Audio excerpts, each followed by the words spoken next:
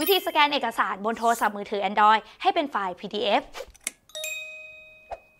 สวัสดีค่ะ กลับมาพบกับ How to Tick ทิกดีๆเทรนใหม่ๆที่คุณก็ทำได้กับฟ้าเช่นเคยค่ะสำหรับในวันนี้นะคะ ฟ้ามีวิธีการสแกนเอกสารบนโทรศัพท์มือถือ Android ให้เป็นไฟล์ PDF มาฝากกันค่ะ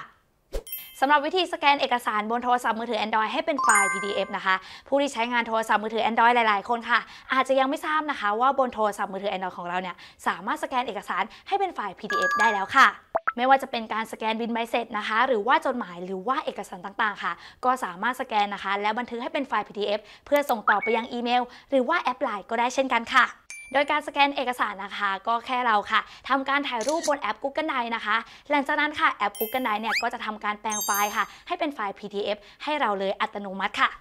และซึ่งโดยส่วนใหญ่แล้วนะคะ บนโทรศัพท์มือถือ Android ค่ะ ก็มักจะมีแอป Google Drive อยู่แล้วค่ะ แต่สำหรับใครนะคะที่ยังไม่มีแอป Google Drive เนี่ยก็แนะนำให้โหลดแอป Google Drive ก่อนนะคะ โดยแอป Google Drive ค่ะ ก็สามารถติดตั้งได้ฟรีนะคะ โดยไม่มีค่าใช้จ่ายใดๆค่ะแล้ววิธีสแกนเอกสารบนโทรศัพท์มือถือ Android นะคะ ให้เป็นไฟล์ PDF ก็สามารถทำได้ง่ายๆ ตามนี้เลยค่ะ ขั้นตอนแรกค่ะ ก็ให้เรานะคะเข้าไปที่แอป Google Drive ค่ะ หลังจากนั้นนะคะ แตะที่ไอคอนรูปบวกค่ะ และแตะไปที่สแกนค่ะ